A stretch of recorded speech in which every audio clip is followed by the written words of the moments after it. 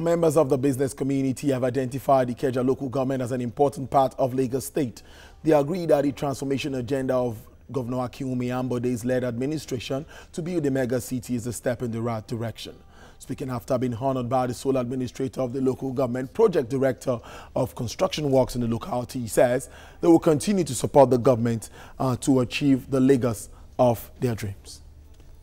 The reason why I'm in Ikeja today is because um, and why we will continue to invest in Ikeja is because number one, Ikeja is the capital of Lagos, and Lagos is the commercial nerve center of Nigeria, and we are deliberately working on transforming Ikeja for Ikeja to be number one local government in Nigeria, and um, the local governments have been very very helpful in that direction, and that is why we continue to come up with different projects across Ikeja and more would also be coming. That the state government agencies need to make the environment more conducive for the construction businesses to thrive.